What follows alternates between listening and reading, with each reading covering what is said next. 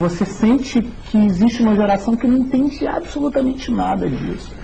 E, e não tem como, né? Você vê, como é, como é que um juiz, uma pessoa, vai, vai poder é, é, é julgar um processo sem ter o conhecimento daquela Ele vai ter que ter um coisa? perito, como ele tem nos casos de infiltração, um é. assistente técnico, um perito, né? Quando ele vai julgar se apartamento do 12 está infiltrando no 11 O juiz ele tem uma assistência, né? ocorrendo Ele vai não ter que existe ter um especialista em Mas isso não existe, isso. Mas vai virar uma profissão, porque vai ter que ter. A Polícia Não, Federal não, já né? tem núcleo de investigação Delegacia de crime especializada. Já tem, Polícia Civil do Rio já tem também. No né? Twitter.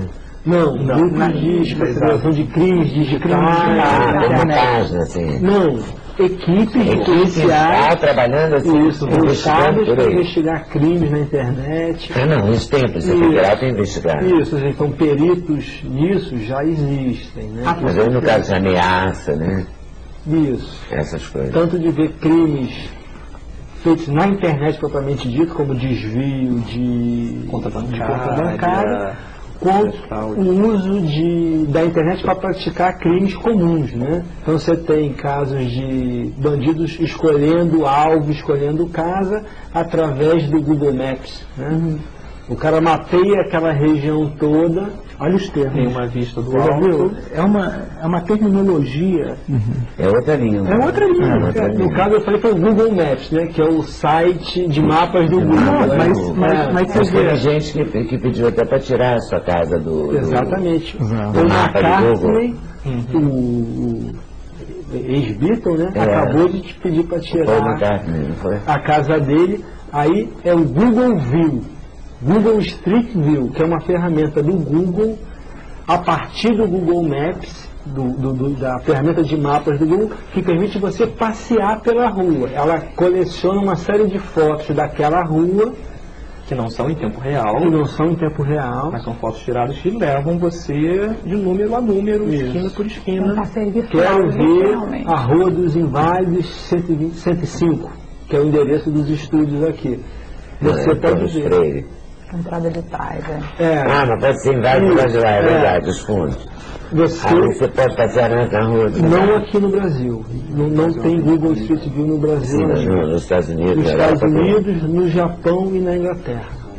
E aí o Paul McCartney pediu para tirar a casa dele. Agora, é importante também a gente não ficar também pegar apenas do lado da criminalidade e imaginar, então vamos tirar do ar essa ferramenta porque o bandido está entrando na casa Ele usando o, o Google É, Maps. não. E aí bandido é muito criativo, achar É, outro jeito. E é a dualidade Vai entrar de qualquer forma. A internet é só um meio, né? A internet é só uma ferramenta. Tem que tomar cuidado na hora da, da legislação de aplicação da lei, de tirar do ar, porque eles vão achar outro jeito, eles sempre acham. Sempre acha. Não, no- e no caso do Google Maps tem uma série de, de iniciativas relevantes, importantes, é, pontos de coleta para vítimas, é, coleta de doação para vítimas das enchentes no sul.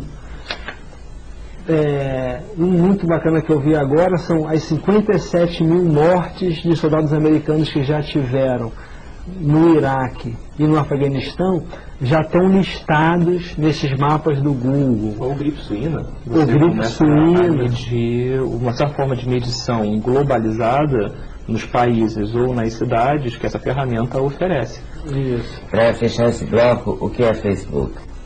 Facebook é outra ferramenta de rede social, essa sim um pouco mais semelhante ao Orkut, em termos de interface, em termos do que você pode fazer lá dentro.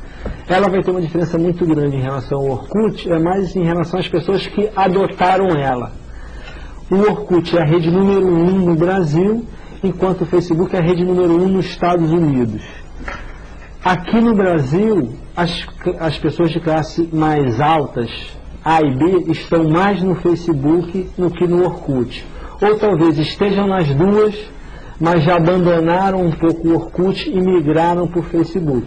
Mas em termos de ferramenta, elas são muito parecidas. Também posta vídeo, posta fotografia, pode fazer comunidade, eu amo. Você lá, pode eu criar até loja dentro do Facebook. É, tem É. Existem várias lojas já. E você pode comprar coisas. Pode comprar Pode. coisas. Pode. É tudo. tudo. Como você compra numa página qualquer da internet. É. Nesse aspecto, ele é um pouco tem mais recurso que o Orkut, que você pode até ter ferramentas para fazer transação de comércio, transação financeira.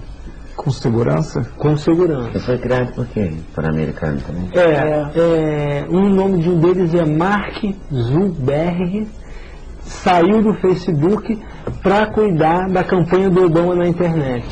Tá vendo? Obama não tem nada. Mas são americanos. Totalmente antenados. Volta aí daqui a pouquinho. Faz um intervalo? Voltamos já já. Sem censura no programa da TV Brasil.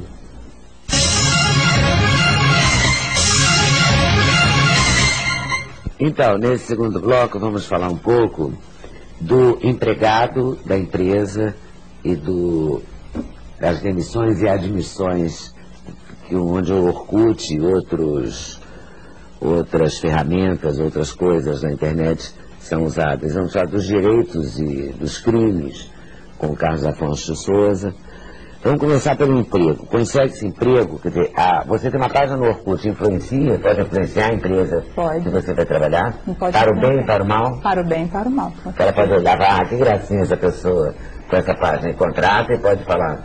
Né, Você manda o currículo, ele vai pesquisar você sabia, né? Isso, você pode, eh, você pode já informar, tem muita gente hoje, quando usa para o bem, né, ela, ela sabe usar essa ferramenta, ela já informa no seu currículo que ela tem uma exposição digital. Então ela informa seu blog, se às vezes seu site, sua página no Orkut, e ela já está preparando, porque ela quer se diferenciar no mercado, então ela já está completando a sua apresentação com a apresentação digital. né, Não é só mais o currículo. Então o currículo que passou do papel para o digital, hoje ele passa agora para o Orkut, para as ferramentas das redes sociais. E pode influenciar negativamente quando você não tem noção do tanto que você está exposto numa rede social. Isso a gente vê nitidamente. Também na, na questão do currículo, da falta de habilidade para se colocar, para se expressar, e na rede social, porque você se associa a comunidades eh, que às vezes vão, vão contra o que você está pleiteando de vaga. Pois é, teve, a gente imprimiu alguns casos aqui. Tem uma professora de artes no Texas que teve aposentadoria antecipada depois que os alunos descobriram fotos dela nuas, nua. Aí ela disse que era arte, mas a escola não achou assim muito engraçado. E eu, e o, Fundo, no Rio Grande do Sul, motorista de de ônibus foi demitido em 2007 sob argumentos que integravam uma comunidade que hostilizava a companhia no Orkut. O cara dirigia para a companhia, ele era da página Eu Odeio a Companhia. Exatamente. É um pouco incoerente, É. né? O que a gente Não, costuma... é muito incoerente. Exatamente. O que a gente costuma falar sempre para o candidato é que ele tem que buscar a coerência do que, que ele tem de conteúdo exposto mesmo num currículo ou né, nas redes sociais, ou o que ele está pleiteando de, traba- de- de trabalho. Então a gente teve um caso na empresa de uma candidata advogada numa empresa que é uma área né, bastante ainda convencional, onde ela divulgava o seu site no currículo. Então, no primeiro momento, a gente, oh, legal, deve ter algum trabalho, alguma, algum conteúdo compatível com a área dela para a gente expor isso para o cliente. E eram fotos sensuais. É uma pessoa sem noção também. tem muito, tem muito medo, tem muito. A habilidade ainda de lidar com essa ferramenta, com essa exposição, ainda é muito grande. A gente acredita muito na, na, na ânsia de você se expor, de você aparecer, de você querer estar lá, não quero ficar de fora, então eu vou pro Orkut. E então você começa a abrir muita retaguarda e se expõe às vezes indevidamente. Então o legal é quando o candidato sabe usar essa ferramenta, né? por exemplo, o pessoal que é da área de web design, estilista, comunicação, você tem que estar na internet, você tem que estar com um conteúdo né, legal, porque você vai ser, ser analisado também por essa exposição. Mesmo, é, principalmente as pessoas que buscam a forma, porque no caso da gente, assim, ah, você faz um programa, digamos, é, meio ambiente. Aí tem quem faz um trabalho de colar, o chaveiro, camiseta de garrafa pet, coisas assim.